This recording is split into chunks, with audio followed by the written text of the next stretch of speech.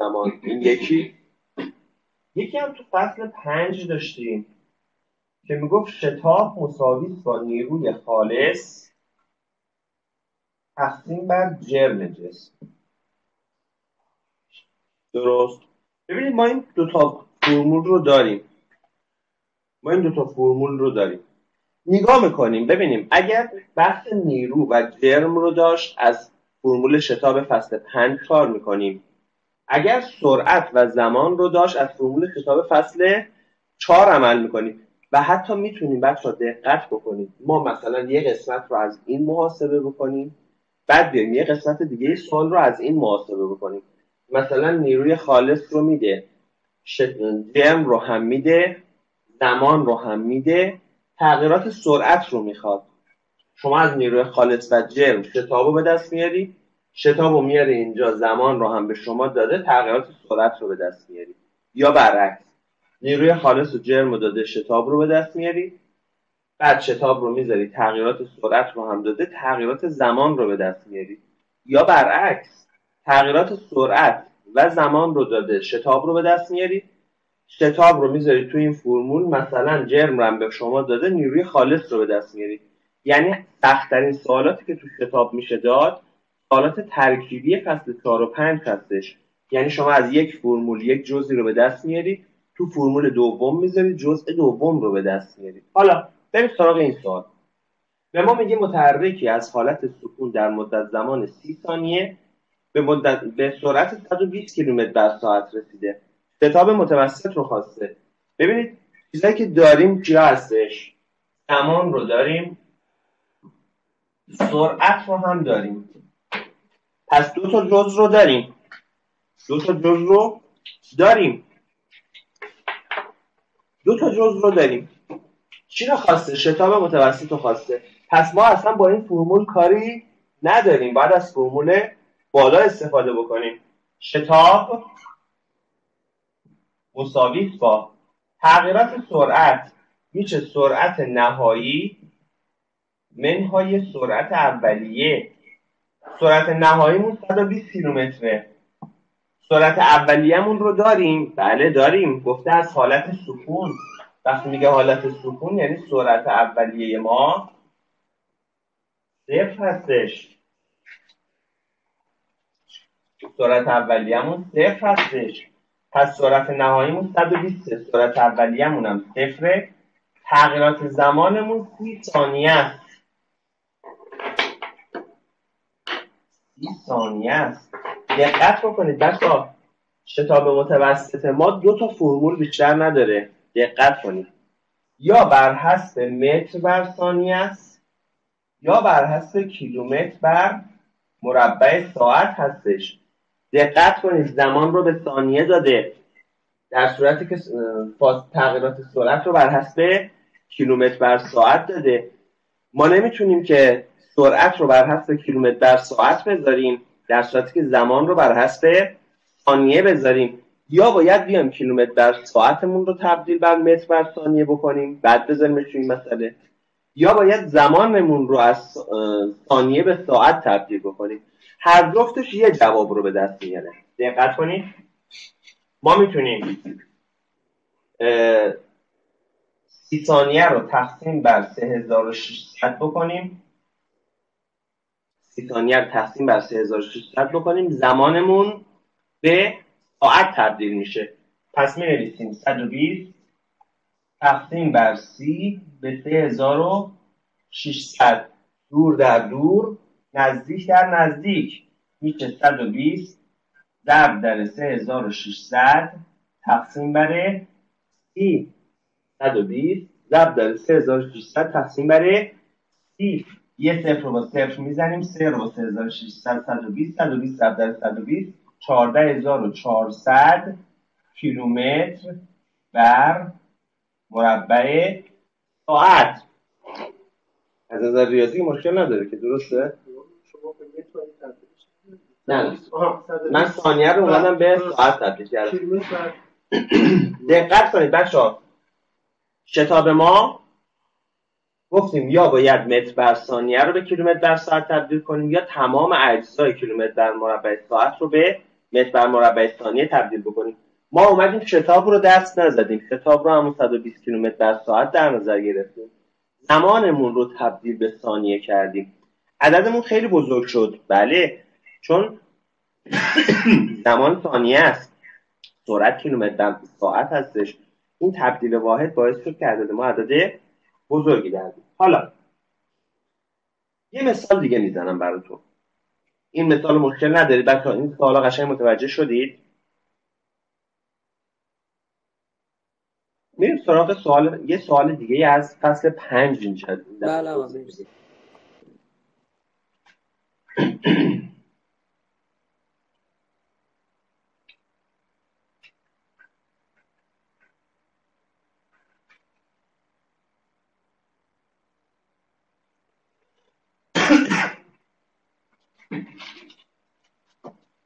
دقت کنید ببینید یه سوال دیگه مطرح می‌کنیم. مثلا میگیم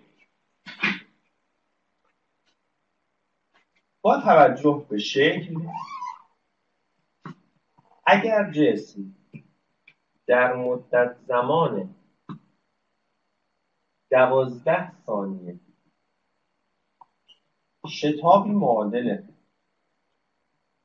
چهار متر بر مربع ثانیه بگیرد. جرم جسم رو محاسبه کنیم میگه اگر جسم در مدت زمان دوازده ثانیه شتابی معادل 4 متر بر مربع ثانیه بگیرد جرم جسم رو محاسبه کنید. شکل اینه جرم آ 20 نیوتن. 8 نیوتن دو تا هست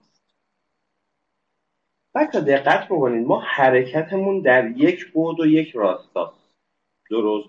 شما فعلا برایند چند تا نیروی مختلف در جهت مختلف رو نمی‌تونید کار بکنید. چرا؟ چون شما اطلاعات محاسبات هندسی رو ندارید. شما محاسبات سینوسی کوسینوسی رو هنوز نخوندید. تو هندسه دبیرستان میخونیدش.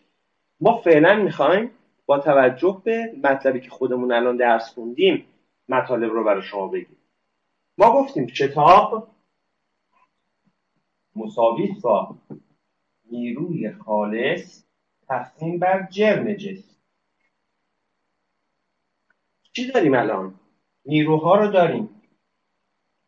برایند دو نیرویی که در دو جهت مختلف هستند فلزشون هم با هم یکی نیست. کسر اونهاست یعنی تفریق اونهاست. 20 نیوتن از این بر وارد میشه. 8 نیوتن هم از این بر وارد میشه. برایند این دوتا نیرو چقدر میشه بچه‌ها؟ 20 نیوتن 8 نیوتن. پس ما اینجا 12 نیوتن برایند نیروهامون هست. به سمت راست. پس ما برایند نیروها رو داریم. به این برایند نیروها میگیم نیروی خالص. ما 12 نیوتن نیروی خالصمونه. جرم جسممون چقدره؟ نمی‌دونیم. حالا یه سوال پیش میاد. بخش با شتاب رو اینجا اگه داشته باشیم بر حسب نیوتن بر کیلوگرم داریم. در صورتی که شتابی که به ما داده بر حسب متر بر مربع ثانیه داده. چکار کنیم؟ زمانی به ما داده شده. از این زمان استفاده بکنیم. نمی‌تونیم استفاده بکنیم. ما گفتیم شتاب مساوی با تغییرات سرعت به تغییرات زمان. واحد این متر بر ثانیه است. تقسیم بر ثانیه میشه متر بر مربع ثانیه. می‌تونیم بگیم شتاب مساوی با نیروی خالص. تقسیم بر جرم. میشه نیوتن بر کیلوگرم خب شتاب که با شتاب فرق نمی‌کنه بچه‌ها. پس ما می‌تونیم بگیم متر بر مربع ثانیه با نیوتن بر کیلوگرم هیچ تفاوت و تغییری نداره. پس ما می‌تونیم همین شتاب 4 متر بر مربع ثانیه رو به جای شتاب نیوتن بر کیلوگرم هم قرار بدیم. پس شتاب ما چهاره. کاری نداریم. واحد چیه؟ متر بر مربع ثانیه باشه نیوتن بر کیلوگرم باشه عددش یکیه. پس به جای شتاب 4 رو قرار بدیم. کاری نداریم که اینجا واحدش متر بر مربع ثانیه است. چون شتاب با شتاب برابره پس متر بر مربع ثانیه هم با نیوتن بر کیلوگرم. یکیه می‌تونیم عدد متر بر مربع ثانیه رو به جای نیوتن بر کیلوگرم هم قرار بدیم. دوازده نیوتن نیروی خالصمون جرم جسم رو نداریم باید محاسبه بکنیم جرم جسم رو. شتابمون هم چهار متر بر مربع ثانیه بوده. اشکالی نداره متر بر مربع ثانیه می‌تونیم به جای کیلو نیوتن بر کیلوگرم هم قرار بدیم. پس اینجا زمانمون به دست جرممون به دست میاد. میگیم جرم مساوی با دوازده. تقسیم بر چهار. سه کیلو گرم پس بچه به راحتی تونستیم با استفاده از ارتباطی که بین این دو تا فرمول در فصل 4 و 5 داریم جرم جسم رو محاسبه بکنیم. فکر می‌کنم دیگه نمونه سوال هایی که از این قسمت می‌تونستیم داشته باشیم رو به خوبی یاد گرفتیم. سوال بعد آقای نیکان قدیری بفرمایید. سلام آقا. سلام اینجا اگه مثلا همون شکلی که داده 20 نیوتن و 8 نیوتن اگه نداده بود می‌تونستیم فرمول یعنی فرمول همین 4 متر بر مربع ثانیه رو تبدیل کنیم به نیروی نیوتن بر کیلوگرم. بعد از اون راه بذاریم ببین چی رو به دست بیارید؟ مجهولتون کیه مجهولمون آها آها آره مجهولمون باید چیزه. ما با توجه به مجهولتون می‌تونید راه حل رو به دست بیارید درسته؟ شما الان مجهولتون اینجا جرم جسم بود پس اومدید از طریق نیرو به جرم مسئله رو حل کردید درسته؟ با توجه به مجهولتون شما راه حل مسئله رو بچه ببینید ما تو هر مسئله یه سری داده ها داریم یه سری خواسته ها داریم. با توجه به داده ها و خواسته هاتون روش حل مسئله مشخص بشود شما با توجه به داده ها و خواسته هاتون مسئله رو حل می‌کنید. اینجوری نیست که ما بگیم آقا هر وقت اینجوری بود شما این کارو بکنید هر وقت اینجوری بود این کارو بکنید. نه. اون چیزی که تو مسئله دارید روش حل مسئله رو به شما نشون میده. سوال بعد. خواهش می‌کنم. جناب آقای عباسی بفرمایید.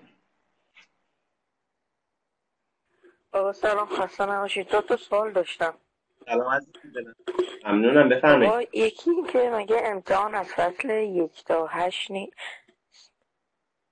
نه یک دو سه چهار پنج. اعلام کردم بچه من تو حتی کلاس هم, هم اعلام کردم که بچه فصل کتاب رو یه مقدار کمش کردم که راحت تر بتونید مطالعه کنید.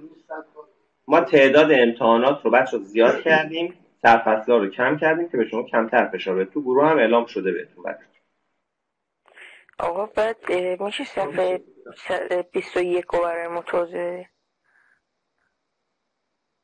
صفحه 21 موضوع چی هست عزیزم؟ یون آهن آقا. ببینید ما کاربرد یون ها رو می‌خوایم بررسی بکنیم تو صفحه 21 صفحه 20 و 21 صفحه کاربرد یون های آهن رو داریم. یون های فلزی رو داریم. ببینید یکی از یون هایی که در بدن ما کاربرد زیادی داره یون آهن هستش. یون آهن یا Fe دوبار مثبت. بچه ببینید این تعداد بارها نشان دهنده تعداد الکترون هایی هستش که ماده می‌گیره یا از دست میده. ما یون آهن دو تا داریم. می‌تونیم Fe دو بار مثبت داشته باشیم می‌تونیم Fe سه بار مثبت داشته باشیم.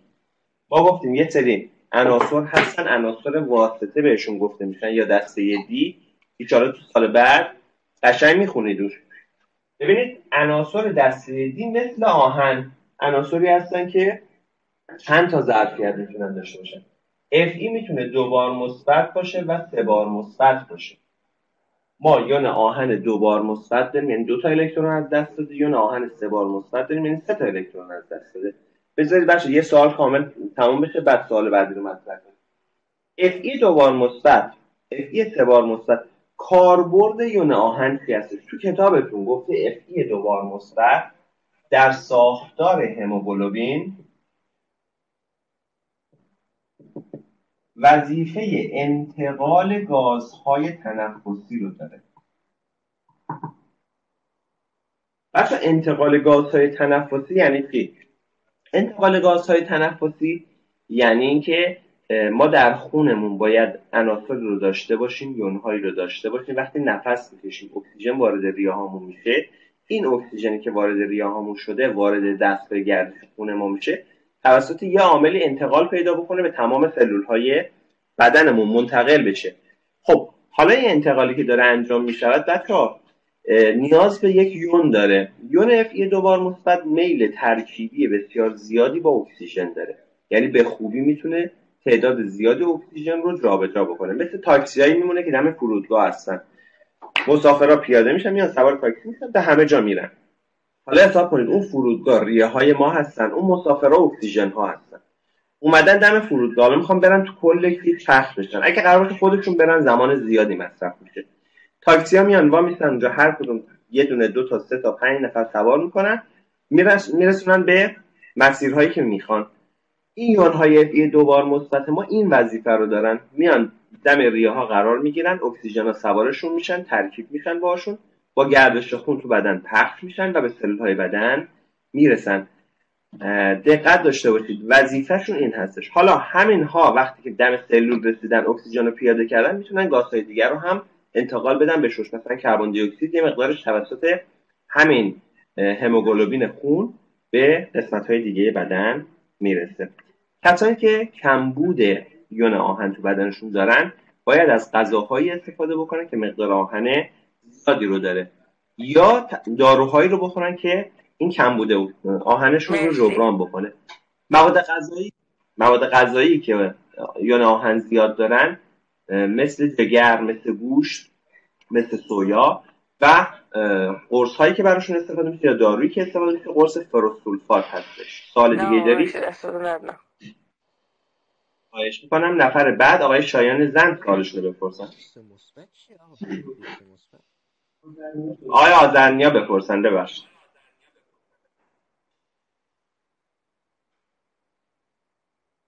او محمد مومنیه. آقای آزرنیا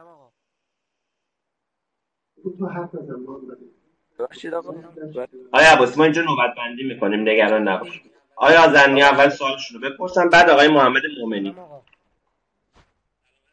سلام عزیز دلم بفهم میشه یکم از ترکیب های نفت خام توضیح بدین؟ خب؟ بله. بچه دقت بکنید. نفت خام درشت مولکول یا پلیمری است که از تعداد زیادی واحدهای کوچکتر تشکیل شده.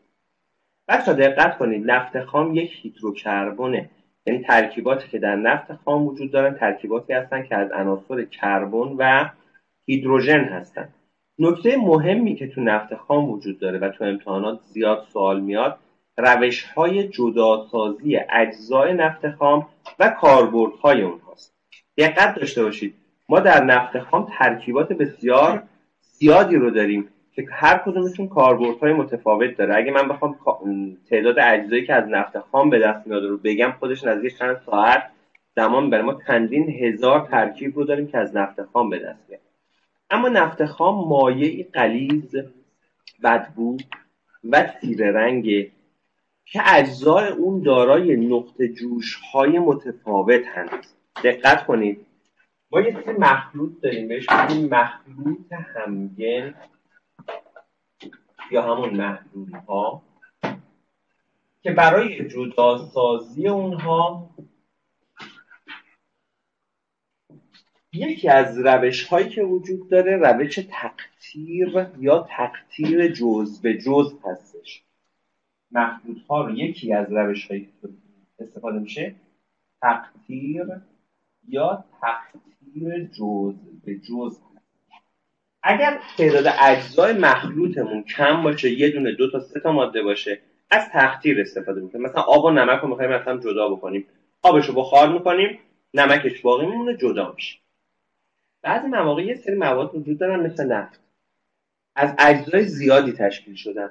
باید از روش تقطیر جز به جز برای جداسازی اجزای نفت خام استفاده کنیم. همونجوری که برای جداسازی اجزای خون میایم از مثلا سانتریفیوژ استفاده می‌کنیم از برای جداسازی مثلا کاه از گندم میایم از کمباین استفاده می‌کنیم برای جداسازی مثلا آب از توفالای چایی مثلا میایم از پوری استفاده می‌کنیم. اینا هر یه روش جداسازی داشتن که تو هشتم خوندید دیگه. برای جداسازی اجزای نفت خام میایم از روش تقطیر جز به جز استفاده می‌کنیم. پس این روشش یه دستگاه داره. دستگاهی که برای جداسازی اجزای نفت خام استفاده میشه بهش میگن برج یا ستون تختیر در برج یا ستون تختیر یه ستون داریم یه دکر بزرگ داریم. نفت خام رو اینجا داریم بهش حرارت میدیم. اجزای نفت خام بر اساس نقطه ذوب و نقطه جوششون جدا میشه. اول از همه اجزای سبک و روشن جدا میشن. رنگ روشنی دارن. که این اجزای سبک و روشن مثلا گازها هستند گاز متان اتان پروپان و بوتان.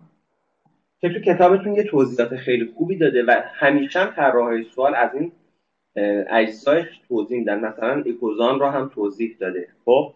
که ما می‌دونیم چارتای اول در دمای اتاق حالت گاز دارن. بوتان که پایین ترین اینها هستش در منفی نیم درجه یعنی زیر صفر تبدیل به گاز میشه. خب؟ اصلا شد دقت کنید این چهار تا جز اولین اجزایی هستن که از نفت خام جدا میشه هرچی میایم پایین تر اجزا سنگین تر و تیره تر میشه هرچی میایم پایین اجزا سنگین تر و تیره تر میشه. بچه اگه یادتون باشه ما گفتیم هرچی تعداد کربن های ما بیشتر باشه تعداد کربن بیشتر شود. نقطه جوش بالا میره. گفتیم نقطه جوشش زیاد میشه. گران رویش کم میشه. یعنی تمایل کمتری به جریان یا جاری شدن داره. فراریتش زیاد میشه. یعنی ماده فرار میشه. هرچی تعداد کربن کم باشه. الان بیشتره. فراریتش کم میشه. گران رویش زیاد میشه. یعنی انگین حرکت می‌کنه. فراریتش پایین میاد. و نیروی جاذبه بین ذرات هر چی تعداد کربن بیشتر بشه نیروی جاذبه بین ذرات هم افزایش پیدا می‌کنه. پس ما تو ستون تختیر هرچی بالاتر باشیم تعداد کربن کمتره. هرچی میایم پایین تعداد کربن بیشتره. جواب سوالتون رو گرفتید آقای آزرنیا بله آقا مرسی آقای شما. آقای مومنی سوالتون رو بفرمایید. آقا بخشید مگر این که ذرای بار مثبت و منفی هن. آقا پس اینا چه شکلی؟ اولش آقا میشه دقیقا به این که این چه شکلی؟ بار مثبت و منفی داره از همون اول بشه توضیح بدین در این مورد. در مورد یون ها با بارهای مثبت و منفی توضیح بدم. درسته؟ درست فهمیدم سوالتون های مومنی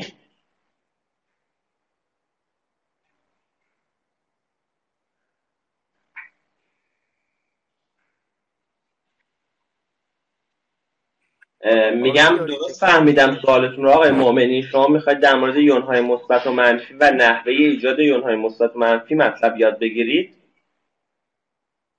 بسیار. بله بله بله. سوال مورد خیلی. آقای مؤمنی دقت کنید بچه گوش کنید. عناصر دو دستن یا فلزن یا نافلز. ما فعلا کاری به شبه فلزات نداریم. عناصر فلز ناف بچه ها قشنگ گوش کنید. عناصر یا فلز یا نافلز. فلز نافلز بچه پیوندی که بین یه فلز و یه نافلز وجود داره بهش میگیم پیوند یونی. پس اگر فلز با نافلز بود این میشه پیوند یونی. پیوند یونی یعنی داد و ستد الکترون. داد و ستد الکترون یعنی یکی الکترون بده یکی دیگه الکترون رو بگیره. درست؟ همیشه نافلز الکترون می‌دهد. فلز الکترون می‌گیرد. ببخشید برعکس. نافلز الکترون می‌گیرد. فلز الکترون می‌دهد. یعنی چی؟ ببین نافلزات چجوری اصلا شناخته می شدن گفتیم نافلزات در لایه در لایه های الکترونیشون تعداد الکترونشون به سمت هشته. چهار پنج شیش هفته یا خود هشته. پس اگر مثلا ما گفتیم سیل 17 گفتیم لایه اول دو تا می‌گیره لایه دوم هشت تا می‌گیره لایه سوم اینجا هفت تا لازم داره. دو هشت ده و هفت 17 عدد چنده؟ هفته. به راحتی می‌تونیم بگیم. این میل می‌کنه به هشت. پس نافلزات تمایل دارن الکترون بگیرن تا به هشت برسن. گفتیم لایه هشت. هشتا در لایه آخر نشان دهنده اکتت بودن نشان دهنده کامل بودنه. درست؟ پس چجوری می‌تونیم نافلز رو بشناسیم؟ کاپی آرایشش رو رسم بکنیم. دو هشت هفت. هفت تا الکترون داره. یه دونه می‌خواد به هشت برسه. پس این نافلز است پس نافلز ها الکترون می‌گیرند. چند تا می‌خواد بگیره؟ یه دونه. پس سیر میشه یه باره منفی. خیلی. فلز ها الکترون می‌دهند. چرا الکترون میدن چون گفتیم در تراز لای آخر الکترونشون تعداد الکترونشون به سمت صفر میل می‌کنه. از هشت دورن. اگه یادتون باشه گفتیم مثل یه رودخونه میمونه که هفت تا سنگ داریم روش. خب اگر ما اینجا باشیم بخوایم به آرامش برسیم گفتیم این ور اون اون رودخونهمون آرامشه. داره سیل میاد. اگر اینجا باشیم چکار می‌کنیم؟ دو تا خونه برمیگردیم عقب به آرامش می‌رسیم. اگر اینجا باشیم سه تا خونه میریم جلو به آرامش می‌رسیم. اینها نافلزاتن تعداد الکترون هاشون برای اینکه کامل بشه به اکسید برسن باید به سمت جلو حرکت کنند بعد الکترون بگیرن اینها فلزاتن برای اینکه به آرامش برسن بعد الکترون از دست بدن. آرامش چی هستش؟ گفتیم 8 تا الکترون لایه آخر. 8 تا الکترون تو لایه آخرشون لازم دارن. اگه با از دست دادن زودتر بهش برسن فلزن با گرفتن زودتر بهش برسن نافلزن گفتیم مثلا Na سودیوم 11 دو هشت یک. دو هشت یک. تو لایه آخرشون بس نگاه کن یه الکترون داره. خب اگه این بخواد به آرامش برسه می‌تونه هفت الکترون بگیره به آرامش برسه یا یه دونه از دست بده. کدومش راحت تره؟ گفتیم فلزات الکترون می‌دهند. از NA تبدیل به NA یک بار مثبت میشه. این یه دونه الکترونش از دست میده به هشت می‌رسه. به پایداری می‌رسه. پس اگر ما یه فلز و یک نافلز داشته باشیم این فلز و نافلز ما پیوندی ایجاد می‌کنن به نام پیوند یونی. چرا؟ چون نافلز ما منفی می‌شود فلزمون مثبت میشه منفی و مثبت هم همدیگه رو جذب می‌کنن. چون منفی و مثبت همدیگه رو جذب می‌کنن یه پیوندی به نام پیوند یونی ایجاد میشه. بهش میگن داد و ستد الکترون. این تا اینجایی کار داشته باشید. ممکنه که ما پیوندمون بین دو تا نافلز باشه. در اون صورت که اتفاقی میفته بچه رو این سوال ندارید؟ رو این قسمت سوال ندارید؟ پاک کنم سوال تخته رو. بریم سراغ دو تا نافلز.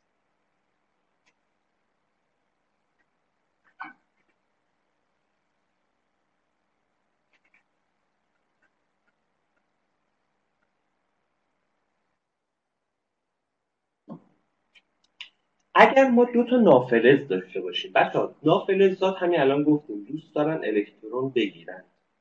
خب جفتشون الکترون بگیرن جفتشون میشن یون منفی. خب دو تا منفی هم که همدیگر دفع می‌کنن. پس اینا پیوندی با هم ایجاد نمی‌کنن. پس اگه ما یه نافلز داشته باشیم اینم نافلز باشه. اگر اینا قرار باشه داد و ستد الکترون بکنن یکی الکترون بده یا به پایداری برسن این میشه منفی این هم میشه منفی. منفی و منفی هم همدیگر رو دفع می‌کنن. پس پیوندی ایجاد نمی شود ما اینجا پیوند نداریم. پس اگه جفتشون نافلز بودن نمی‌تونن پیوند یونی داشته باشن. پیوند یونی نمی‌تونن داشته باشن. اینجا چکار می‌کنن ما اینجا گفتیم اگر یک نافلز و یک نافلزی داشته باشیم میایم آرایش های اینا رو رسم می‌کنیم. مثلا به عنوان مثال هیدروژن یک فلوور نو. هیدروژن یک یه دونه لایه تو الکترون تو لایه. هیدروژن مثال نزنیم چون هیدروژن حالت خاصه. بخش هیدروژن با رسیدن به دو کامل می‌شد به جایی که به هشت برسه به هلیوم دو برسه کامل میشه. حالا بذار همین مثال بزنیم. اینم دو هفته این اگر به دو برسه کامل می شود هیدروژن حالت خاص بود. با رسیدن به آرایش دو به گاز نجیب هلیوم برسه کامل میشه. اینم یه دونه می‌خواد تا کامل بشه. با رسیدن به هشت. جفت اینو یه الکترون کم دارن. نمی‌تونن هم الکترون به هم بدن. چون اگه الکترون به هم بدن این به اون بده اونم به این بده جفتشون منفی میشن همدیگه رو دفع می‌کنن. اتفاقی میافته؟ گفتیم هنگامی که دو تا نافلز داریم اگر اینا می‌خوان به هم جذب بشن باید اشتراک الکترون داشته باشن. اشتراک الکترون همون پیوند کووالانسی هستش. پیوند کووالانسی یا اشتراکی؟ پیوند کووالانسی یا اشتراکی بینشون ایجاد میشه بین یک نافلز و یک نافلز دیگه. یعنی چی؟ میگیم این تو لایه آخرش یه الکترون داره هیدروژن. اینم تو لایه آخرش هفت الکترون اینا میان یه الکترونشون رو به اشتراک می‌ذارن. دقت کنیم ما فقط با لایه آخر کار داریم ما با لایه دیگه کاری نداریم. اینا الکترون هاشون رو به اشتراک می‌ذارن چه اتفاقی میفته هیدروژن لایش به دو می‌رسه کامل میشه. فلور هفت تا بود یه الکترون اشتراک گرفت به هشت می‌رسه اینم کامل میشه. به این میگن پیوند اشتراکی یا کووالانسی مثال می‌زنم براتون بچه فرض کنید که مثلا به عنوان مثال شما برای کامل کردن یک طراحی یا یک نقاشی نیاز به هشتا مداد رنگی دارید. هشتا رنگی که تو نقاشیتون به کار رفته رو شما مثلا دو تاشو ندارید. یه نفر دیگه هم هستش که اون هم همین نقاشی رو باید کامل بکنه. دو تا رنگ شما رو داره ولی دو تا رنگی رو که شما دارید اون نداره. میاد مداد رنگیاتون می‌ذارید بغل دست هم. شما از اون دو تا مداد رنگی اون استفاده می‌کنید اونم از دو تا مداد رنگی شما استفاده می‌کنید اینجا مالکیت الکترون تغییر نمی‌کنه. مداد رنگی های اون برای شما نشده مداد رنگی شما برای اون نشده. ما به این میگیم اشتراک الکترون. پس اشتراک الکترون در مواقعی اتفاق میفته که چند تا اتم نافلز در کنار هم می‌خوان قرار بگیرن. کمبود الکترون دارن. حالا این کمبود الکترون هاشون میان با اشتراک گذاشتن الکترون با هم جبران می‌کنن. فکر می‌کنم جواب سوال تو های مومنی گرفتی. اگر سوال ندارید آیه امیری بفرمایید. بله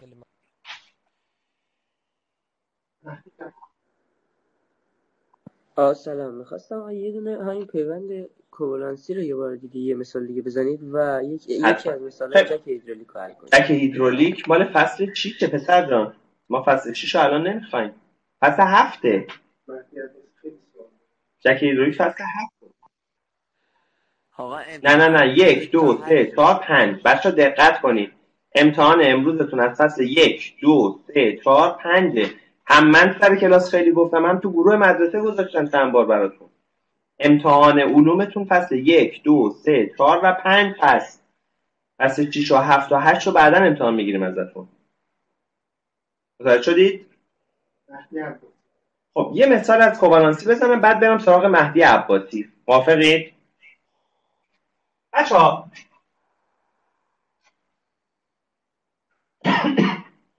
مثلا میگن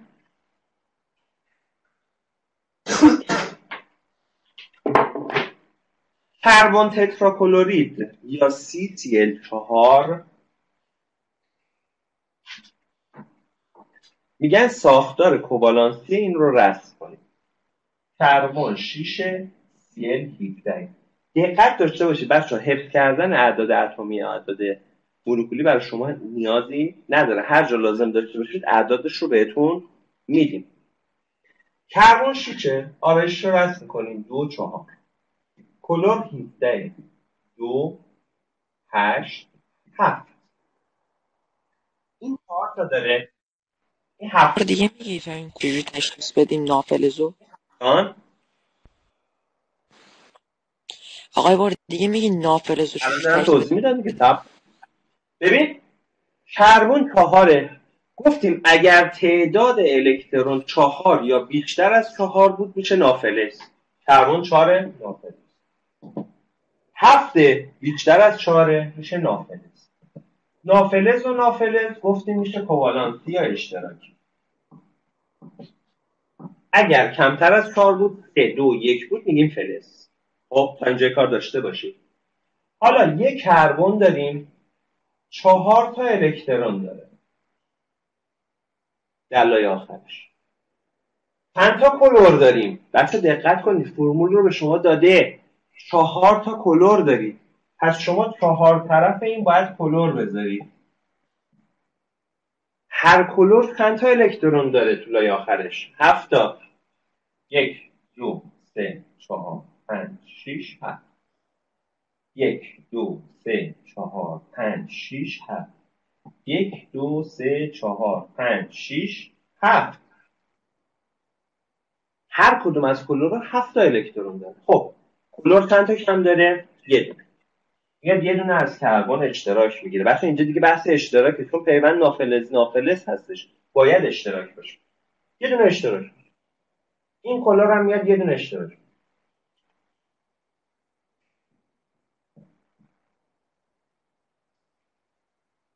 این کلور هم میاد یه اشتراک. این کلور هم میاد یه اشتراک.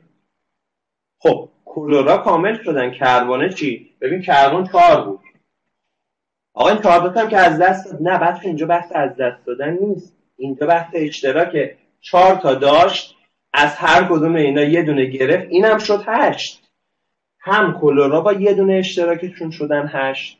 هم کربونه با چهار تا اتم پیوند داد. اینم شد هشت. پس در پیوند اشتراکی چی کامل می‌کنه؟ چی تعیین کننده است؟ رسیدن به عدد 8 به جز هیدروژن که با رسیدن به عدد دو کامل می شود این مثالی برای فکر می‌کنم کی بود؟ سال آخر رو پرسید. آقای امیری بود اگه اشتباه نکنم. خب بریم سراغ سوال آقای مهدی عباسی. بفرمایید. بله صداتون رو دارم. یه ذره بلندتر صحبت کنید بهترم میشه.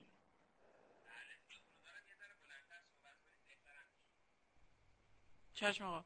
آقا نیروی استکاک جنبشی و ایستایی رو آقا میشه توضیح بدین؟ آقا تفاوتشون هم میشه بگین. که سوال ازش میاد یا نمیاد که خب نمی‌تونیم بگیم. ولی حالا چون شما هستی بله سوال همیشه از نیروی استکاک داریم اما حالا بریم سراغ استکاک جنبشی و ایستایی. بچه ببینید. اجسام وقتی حرکت می‌خوان بکنن رو همدیگه کشیده میشن. ما نمی‌تونیم بگیم محیط بدون استکاک داریم. همه اجسام هم حتی اگر خیلی صاف و سیقلی باشن دارای پستی و بلندی یا برجستگی در سطح خودشون هستن. پس وقتی جسمی می‌خواد حرکت بکنه یا حتی جسمی ثابته من اینجا واسطادم تکون نمی‌خواد. پام رو زمین ثابت خب؟ وقتی که می‌خوام حرکت بکنم یا نه ایستادم به هر صورت دو تا سطحی که رو هم دیگه هستن رو هم دیگه کشیده شدن. رو همدیگه استکاک دارن رو همدیگه پسی و بلندی با هم درگیر هستن. پس ما استکاک رو هم در اجسام ثابت داریم هم در اجسامی که دارن حرکت می‌کنن. به نیروی استکاکی که مانع حرکت جسم متحرک میشه میگیم استکاک جنبشی. پس جسمی که داره حرکت مثلا ماشین داره حرکت می‌کنه لاستیکش با زمین استکاک داره. چون داره حرکت می‌کنه به این استکاکه میگن جنبشی. اما اگه چیز ثابته مثلا یه میزی رو زمین ثابت هنوز حرکت نکرده. به این استکاکش میگن استکاک ایستایی یا ثابت. خب مثال می‌زنم. مثلا میگم جسم آ با نیروی دوازده نیوتون جرمش مثلا دو کیلوگرمه. خب داره حرکت می‌کنه. این کتابش مثلا چهار, متر، چهار نیوتن بر کیلوگرم. مقدار استکاک جنبشیش رو محاسبه کنید پس میگیم جسم آب با جرم دو کیلوگرم طبق شکل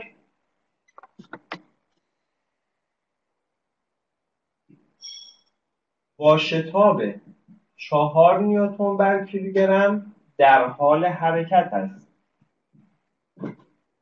مقدار استکاک جنبشی آن را محاسبه کنید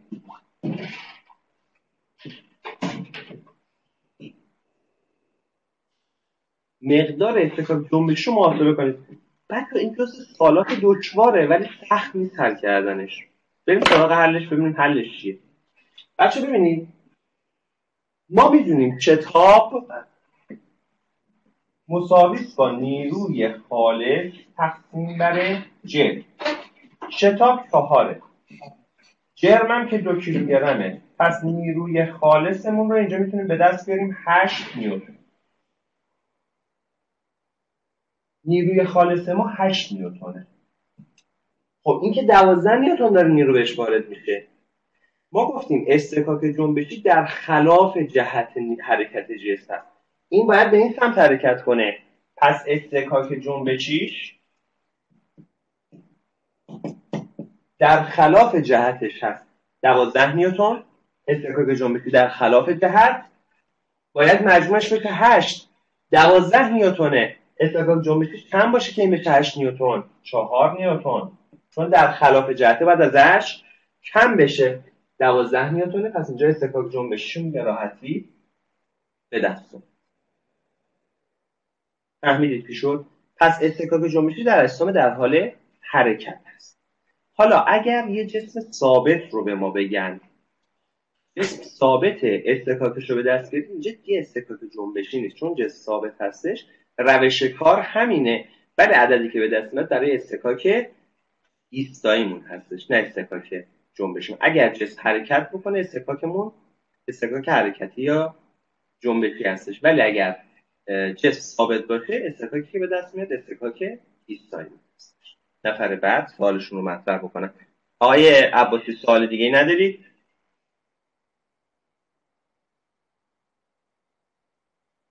یه مقدار بلندتر صداتون رو ندارم.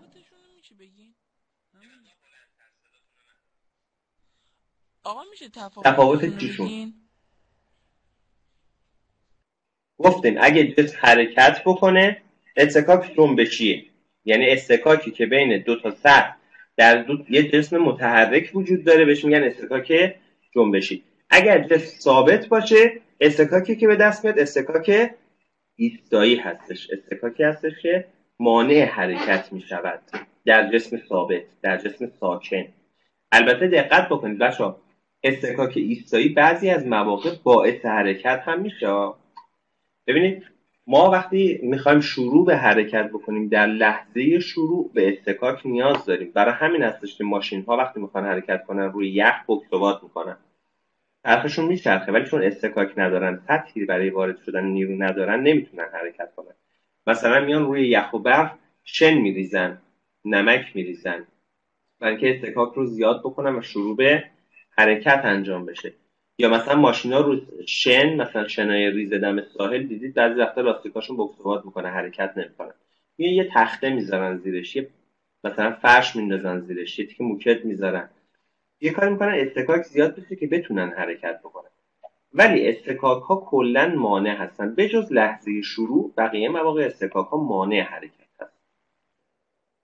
سال دیگه ندارید؟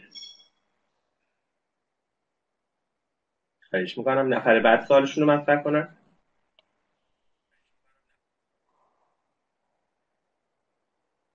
خوابید؟ الان داشتی دنگ کردی برای سوال پرسیدن. الان هیچ سوال نمی‌پرسه. سوال نپرسید من کلاس رو تمامش می‌کنم بچه فکر نکنید من سوال اینجا براتون مطرح می‌کنم. جناب آقای امیر حسین عباس امیری بفهمید آقای امیری شما بپرسید؟ بعد مهدی عباس.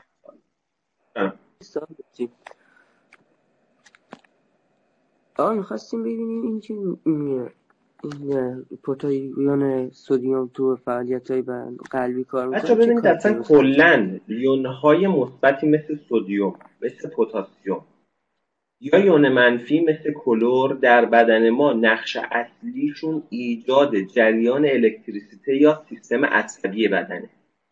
درست.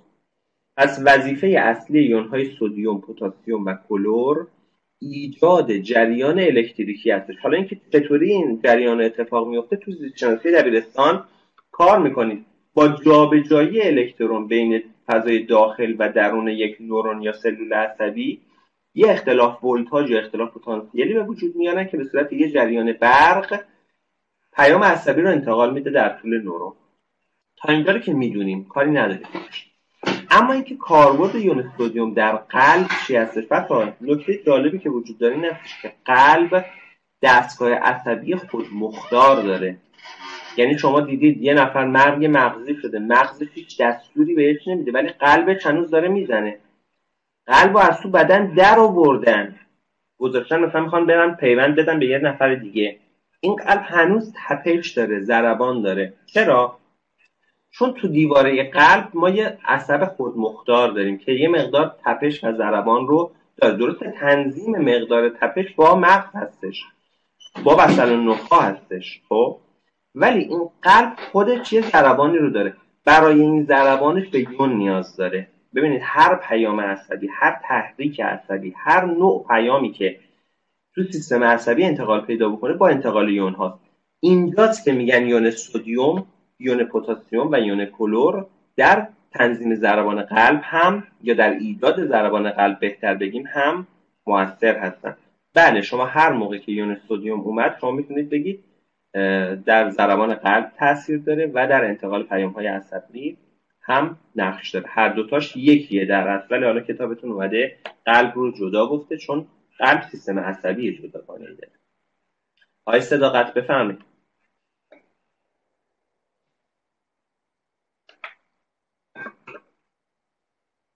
بفرما عزیزم سلام. بلندتر. آقا صفحات آخر درس. بله آقا. آقا صفحات آخر درس سه رو فصل سه رو توضیح می‌دید آقا؟ در مورد خب بس بارش رو من توضیح دادم ولی حالا پلیتن رو یه بار دیگه توضیح میدم براتون. بچه دقت کنید. ما گفتیم که درشت مولکول ها از تعداد زیادی واحدهای کوچکتر به وجود اومدن. مهمترین بسبار مصنوعی که امروزه داره تولید میشه یا پلیمر مصنوعی که امروز داره تولید میشه ماده به نام پلی اتن یا پلی اتیلن پلی اتن یا پلی اتیلن با این شکل نشون داده میشه. دو تا کربن چهار تا هیدروژن که در یک کروشه گذاشته شدن و به تعداد n مرتبه. به این میگیم پلیمر درشت مولکول یا بسپار خب اینا از چی به وجود اومدن؟ پلی اتیلن یا پلی اتن از تعداد زیادی اتن به وجود اومده. اتن هم فرمولش سی دو هاش چهار هست. دو تا کربن هست چهار تا هیدروژن یه پیوند دوگانه بینشون وجود. اگر تعداد زیادی n تا اتن با هم دیگه پیوند بدن یه دونه پلی اتن یا پلی اتیلن رو به وجود میارن. به این عمل میگن بسپارشی شدن یا بسپارش یا پلیمریزاسیون polymerization خب این یک نوع واکنش درشت مولکول سازی هست پلیمر سازی هست بسپارش سازی هست. خب اما چرا این اتفاق میافته؟ توضیح دادیم. آقای سومه سوالتو نگه دار نفر بعدی شما. چرا این اتفاق میفته به خاطر اینکه این پیوند دوگانه که این وسط هست میشکنه. بچه پیوندهای دوگانه از پیوندهای یگانه توضیح دادم براتون. پیوندهای ساده پیوندهای پای هستن ولی پیوندهای دوگانه یه پای دارن یه سیگما. اینو تو دانشگاه کار می‌کنیم. پیوندهای دوگانه نسبت به پیوندهای یگانه ضعیفترن. این پیوند دوگانه میاد میشکنه. خب این که ظرفیت کربن چهار بود. باید چهار تا الکترون اشتراک میذاشت. تو سی سی چهار توضیح دادیم براتون. ظرفیتش چهار بود. وقتی این پیوند بشکنه اینجا یه پیوند خالی میمونه. یه پیوند خالی میمونه. یه کربن دیگه ای هم که اونم در کنار این بوده همین اتفاق براش میفته. کربن های دیگه ای هم که در کنارش بوده همین اتفاق میفته. اینا به تعداد خیلی زیادی یعنی من تا تای تخته می‌تونم اینا رو ادامه بدم. اینا به هم میچسبن خب همینه. اینی که ما دو طرفش رو محدود کردیم ان گذاشتیم یعنی تعداد خیلی زیادی از اینها به هم دیگه چسبیدن متصل شدن. درست؟ تعداد خیلی زیادی به هم چسبیدن متصل شدن. به این عمل میگیم بسپارشی شدن یا پلیمری شدن یا بسپارش. این چند صفحه آخر فصل سه کتابتون هستش. آی سومه بفرمایید.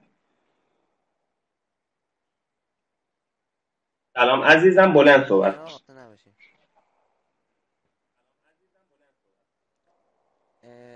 عالیه. الان خوب آقا؟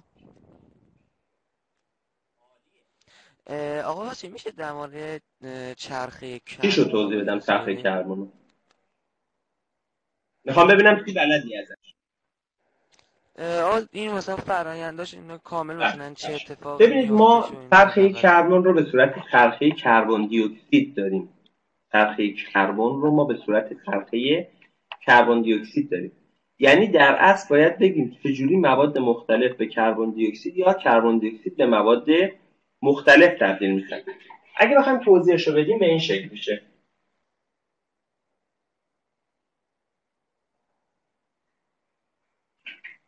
ما می‌دونیم که گیاهان در فرایند فتوسنتز کربن دی اکسید رو می‌گیرن به کربوهیدرات تبدیل می‌کنن یا قند. این اولین چیز. گیاهان کربن دی اکسید رو می‌گیرند تبدیلش می‌کنن به کربوهیدرات. جانوران میان کربوهیدرات رو میسوزونن تبدیلش می‌کنن به کربن دی اکسید این سوختن. سوختنی که در تمام بدن سلول های انسان و جانداران دیگه داره انجام میشه. پس بچه ها به این میگن تنفس سلولی.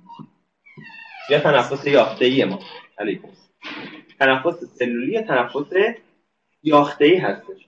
دقت بکنید جانوران در عمل تنفس سلولی کربوهیدرات رو میسوزونن کربن دی اکسید تولید می‌کنن. گیاهان کربن دی اکسید رو می‌گیرن کربوهیدرات تولید می‌کنن. پس می‌تونیم بگیم مهمترین قسمت چرخه کربن تنفس و فتوسنتز هستش. این اولش. خب حالا ممکنه بدن جانداران زیر زمین محبوس بشه تبدیل بشه به ساختارهایی مثلا به سوختهای فسیلی یا به زغال سنگ یا به گاز یا به نفت. خب اینها هم ذخیره شدند در زیر زمین به صورت بافتهایی که قابل سوختن هستند حالا این اگه بسوزن باز کربن دی رو تولید می‌کنن پس قسمتی از چرخه کربن دفن شدن جانداران در زیر زمین تبدیل شدنشون به سوخت و دوباره سوختن و برگشتنشون به هوا هستش. ببینید کربن دی یا تو هواست یا توی زمینه یا روی زمین در درون بدن جانداران هست. روی زمین در بدن جانداران اگه تو گیاهان وارد بشه تبدیل میشه به کربوهیدرات. در بدن جانداران کربن دی اکسید تولید میشه. ما میگیم تنفس و فتوسنتز مکمل همند. ما اگه زیر یه محفظه که هوایی بهش وارد نمیشه یه گیاه بذاریم و یک جانور. بینشون یه چیزی بزنیم که اینا همدیگر نتونن مثلا گیاه مثلا جانوری نره گیاه رو بخوره. اینا مدت زمان زیادی زنده میمونن بدون اینکه اکسیژن وارد محیط بشه. چرا؟ جانور نفس می‌کشه کربن دی اکسید میده بیرون. گیاه کربن دی اکسید رو می‌گیره. پس اگر اینا ماده غذایی داشته باشن آب تو محیطشون داشته باشن دیگه نیازی به اکسیژن سازی یا کربن دی سازی نخواهند داشت. پس دقت بکنید ما در چرخه کربن دی اکسید تجزیه بافت ها رو داریم. اگر بافه گیاهی یا جانوری تجزیه بشوند تبدیل به کربن دی اکسید میشن ساخت کربن دی اکسید رو داریم که در تنفس سلولی یا سوختن سوختهای فسیلی استفاده میشه و مصرف کربن دی اکسید رو داریم که در فتوسنتز انجام میشه. آقای سومه سوالتون جواب داده شد. آقای عبدلی بفرمایید. بله آقا مرسی دست سلام ببخشید. من یه سوال دارم درباره ساخته شدن نفت. من یه روش ساخته شدن نفت توسط این نیست که مثلا موجودات ریز دریایی زیر لایه های فسیلی قرار بگیرن و نفت ایجاد بشه. آقا نمیشه این کار دستساز توسط خود انسان دقت داشته؟ باشید آقایون فرایند ساخته شدن نفت یه فرایند زمانگیر بیهوازی هست. چرا؟ میشه این کار رو انجام داد. دانشمندان دنبال این هستن که این فرایند رو انجام بدن. اما جانداران پلانکتونی که در میلیون ها سال پیش در زیر رطوبات دفن شدن در طی زمان توسط باکتری های بیهوازی و در یک بازه زمانی بسیار طولانی این اتفاق افتاد به صورت مصنوعی هم انسان ها امروز می‌تونن این کار رو انجام بدن. نه اینکه نتونن تولیدش بکنن. ما امروزه داریم از شاخ و برگ درختان و مثل نیشکر مثل دانه های روغنی اتانول تولید می‌کنیم یه سوخته. یا میان گازوئیل مصنوعی تولید می‌کنن گازوئیل سبز تولید می‌کنن. این کار الان انجام شده گازوئیل جزء اجزای نفت خام هستش. پس چنین کاری انجام پذیر هست. ولی اینکه حالا همه اجزای نفت خام رو بتونن با این شکل تو- تولید بکنن سخته بچه نفت خام یه پلیمر درشت مولکول بسیار حجیمی هست. مولکول های بسیار خیلی زیادی داره و این مولکول های بسیار زیاد برای اینکه بتونن تشکیل بشن مدت زمان خیلی بالایی لازمه. سوالتون رو بفرمایید. آره آقا بعد یه سوال دیگه هم داریم. آقا جر... مثلا میگه این اه، چی مثلا سوخت طبیعی مصرف یعنی سوخت سلامت ببینید سوخت‌های چطوری سبز؟ مثلا بنزین. سوخت سبز مثل اتانول بچه دقت کنید. سوخت هایی هستن که بجز آب و کربن دی اکسید ماده دیگه تولید نمی‌کنن. ماده دیگه وارد محیط نمی‌کنن. ببینید سوخت هایی که در محیط ما وجود دارن سوخت هایی هستن که وقتی میسوزن بچه ماده سوختنی وقتی میسوزه یه ماده سوختنی وقتی میسوزه یعنی با اکسیژن ترکیب میشه. همیشه از سوختن ماده سوختنی اگر سوختن کامل باشد. و ماده سوختنی فقط هیدروکربن باشد. بچه فقط هیدروکربن باشه. یعنی فقط کربن و هیدروژن داشته باشه. در این صورت چیزی که به وجود میاد آب و کربن دی اکسید هستش.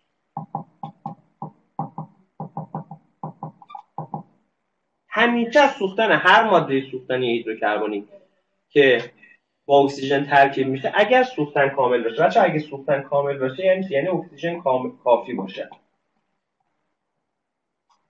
همیشه آب و کربن دی اکسید تولید میشه اما ما می‌دونیم در مثلا گازوئیلی که داره تو موتورهای دیزل میسوزه بجز آب و کربن دی اکسید اکسیدهای گوگرد هم تولید میشه. اکسیدها- اکسیدهای نیتروژن هم تولید میشه. ببینید آب و کربن دی اکسید تو چرخه طبیعت مصرف میشن. ولی اکسیدهای گوگرد و اکسیدهای نیتروژن آلاینده هایی هستن که مصرف شدنی نیستن در محیط انباشته میشن. و آسیب هایی که به ما می‌زنن خیلی بیشتر از آب و کربن دی اکسید هستش. ما کربن دی اکسید رو می‌تونیم با درختکاری درستش کنیم. ولی سوخت های گوگردی و سوخت های نیتروژنی رو نمی‌تونیم این کار رو انجام بدیم. دقت بکنید. اگر میگن سوخت سبز یعنی سوختی که فقط آب و کربن دی اکسید تولید می‌کنه. مثلا اتانول وقتی میسوزه فقط آب و کربن دی اکسید تولید می‌کنه. رو گرفته آقای عبدالی؟ بله آقا. آقای نقشبندی. سوال دارید؟ آقای نقشبندی. صدا رو دارید؟ می‌تونید جوابی که من میگم بگیرید؟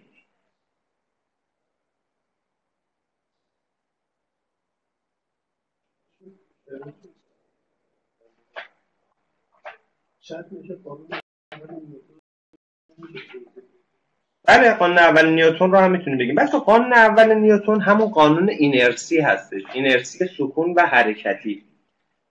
تو این چند دقیقه که زمان داریم بچه اگر موافق باشید با سه تا قانون نیوتن رو یه دوره بکنیم. تقریبا دو سه دقیقه بیشتر زمان نداریم. من فقط قوانین نیوتن رو خیلی سریع یه بار دیگه توضیح میدم براتون.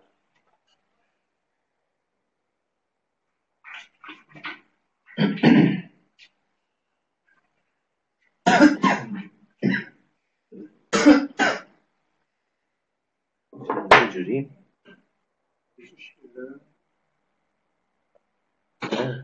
خب.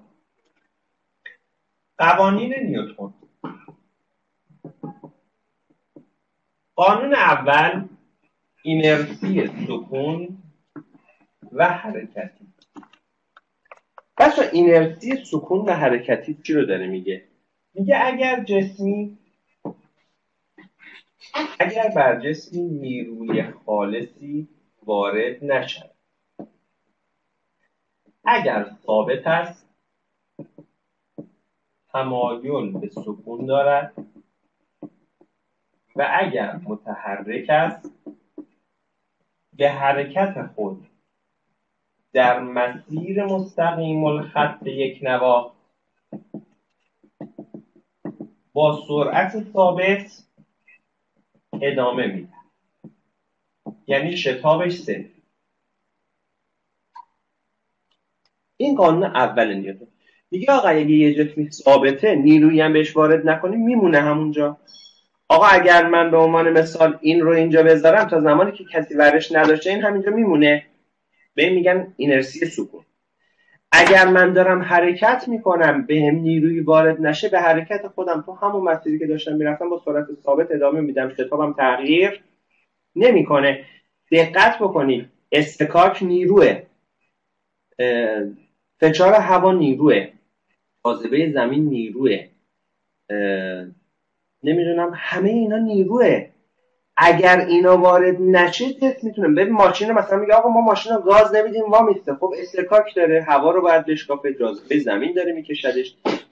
ما وقتی میگیم نیروی وارد مثلا یه موشکی تو فضا داره حرکت می‌کنه. بله این نیروی بهش وارد نمیشه. نه جاذبه وارد میشه نه هوایی وجود داره نه استکاکی وجود داره. این حرکتش مستقیم الخط تو مسیر حرکت. ولی بازم این تا زمانی که مستقیم داره حرکت می‌کنه. اگر بخواد مسیرش رو عوض بکنه تا نیروی بهش وارد نشه که نمی‌تونه مسیرش رو عوض بکنه. یه بالایی باید بچرخونه یه موتوری باید روشن بکنه یه کاری باید بکنه که این حرکت کنه. پس اگر جسم نیروی خالص بهش وارد نشود در تو قانون اول نیوتن این مهمه. بر جسم نیروی خالص وارد نشود. در این صورت این اتفاق میفته. حالا بریم سراغ قانون دوم. بچه قانون سوم رو همه بلدن. من دیگه قانون سوم رو توضیح نمیدم. قانون سوم خیلی عمل عکس عمل اینقدر درتون مثال زدم سر کلاس خودم خسته شدم. قانون دوم نیوتن میگه اگر بر جسمی دقیقا عکس قانون اوله. اگر بر جسمی نیروی خالصی وارد شود. شتاب می‌گیرن. شتاب می‌گیره یعنی سرعت آن تغییر می‌کنه. تغییر می‌کنه. نگفتیم افزایش پیدا می‌کنه یا کاهش پیدا می‌کنه. اگه در جهت حرکتش باشه افزایش شتاب رو داره افزایش سرعت رو داره. در خلاف جهت حرکتش باشه کاهش سرعت رو داره. اگر بر جسمی نیروی خالصی وارد بشود شتاب می‌گیرد. مقدار شتاب بچه شتاب چی بود؟ نیروی خالص تقسیم بر جرم جسم. درسته؟ نیروی خالص به جرم جسم بود. شتاب می‌گیرد. مقدار شتاب با مقدار نیروی خالص نسبت مستقیم با نیرو خالص نسبت مستقیم نیرو خالص زیاد بشه شتاب هم زیاد میشه جفتشون صورتن. و با جرم جسم نسبت عکس دارد جرم تو مخرج هرچی جرم زیاد بشه شتاب کم میشه. مثال می‌زنیم. آقا شما می‌خوای یه توپ پینگ پونگ شوتش بکنی. جرم کمه با یه نیرو با مقدار خیلی زیادی بید. حالا همون نیرو رو به یه توپ بسکتبال وارد بکنی. جرمش بیشتره. هرچی جرم زیاد بشه شتاب کم میشه. هرچی جرم بیشتر بشه اگر نیروی خالص ما ثابت باشه جرم زیاد بشه شتاب کم میشه. هرچی نیرو خالصمون زیاد بشه شتاب هم زیاد میشه. تو ماشین های مسابقه ای مثال زدم براتون. تو ماشین های مسابقه ای بچه میان حجم موتور رو زیاد می‌کنن. حجم موتور رو زیاد می‌کنن نه جرمشو. حجم رو زیاد می‌کنن یعنی نیروش رو تقویت می‌کنن. نیروش زیاد میشه بعد میان ماشین رو بدنش رو فایبرگلاس می‌سازن سبک می‌سازن جرمش رو کم می‌کنن. برای چی؟ برای شتابش افزایش پیدا بکنه. آقای دولتی بفهمید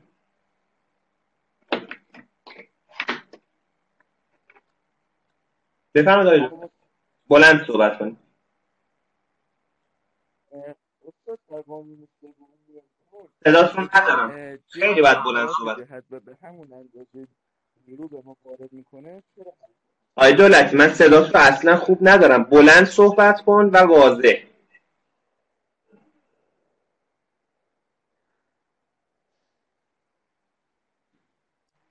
امیر رضا. این بود که اگر در خلاف جهت و به همون اندازه به ما نیرو وارد می‌کنه چرا جسم داره حرکت می‌کنه؟ بچه ها ببینید ما میگیم قانون سوم نیوتن یعنی هر چقدر ما به جسم نیرو وارد بکنیم اونم به ما همونقدر نیرو وارد می‌کنه. دقت بکنید بچه حرکت نیرویی که ما وارد به یه جسم می‌کنیم اونو حرکتش میدیم. برایند نیروهایی که وارد می‌کنن این دوتا با همدیگه برابر هستش. نه اینکه برایندشون صفر باشه. برایند یعنی نیرویی که به یه نقطه داره وارد میشه. این دو تا جسمه. اینو من سر کلاس خیلی توضیح دادم. شما می‌گفت آقا اگه بر... اگر این به اون همونقدر نیرو وارد می‌کنه که اونم به این همونقدر نیرو وارد می‌کنه پس داره حرکت انجام میده. دو تا جسمه. ببین ما میگیم اگر بر یک جسم برایند نیروها صفر باشد اون جسم ثابت میمونه. بحث این نیست که آقا بر دو جسم دو تا نیرو وارد میشه. فهمیدید چی شد؟ ما داریم میگیم تو قانون دوم نیوتن میگیم اگر این به این داره نیرو وارد می‌کنه هر چقدر این به این نیرو وارد می‌کنه اینم به این نیرو وارد خب مگه اینا جرماشون یکیه؟ مگه استکاکاشون یکیه؟ به هر صورت یکیشون نسبت به اون یکی جرمش کمتره یا نیروش بیشتر هستش باعث حرکت اون یکی میشه. اگر همه چیزشون برابر باشه بله. حرکتی انجام نمیشه. اگر برایند نیروهای وارد در دو جسم با هم برابر باشد حرکتی صورت نمی‌گیرد. خب خسته نباشید آقایون تایممون تموم شده. وقت دیگه ای نداریم. امیدوارم که امروز آزمونتون رو خوب بدید. بچه سوالات سطح خوبی داره. هم سوال آسون داریم هم سوال متوسط داریم. بیشتر سوالات سطح متوسط داره. نگران